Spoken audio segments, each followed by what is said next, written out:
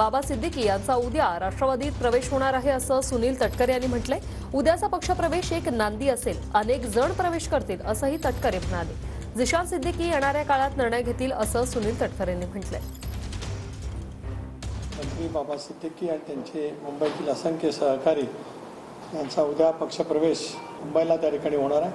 असे त्यांच्या राज्यभरातील असंख्य सहकाऱ्यांचा उद्याचा पक्षप्रवेशाचा सोहळा त्या ठिकाणी नंतर भविष्याच्या कालावधीमध्ये आपल्याला असे खूप पक्षप्रवेश पाहायला मिळते एक असं आहे की कुठल्याही पद्धतीच्या पदाची अपेक्षा न करता बाबा सिद्दीकी आणि त्यांच्या असंख्य सहकाऱ्यांचा राष्ट्रवादी काँग्रेस पक्षामध्ये पक्षप्रवेश विनाअट त्या ठिकाणी आहे. जिशान सिद्दीकी आमदार आहेत ते त्या ठिकाणी योग्य ती भूमिका उद्याच्या भवितव्याच्या कालावधीमध्ये मांडतील.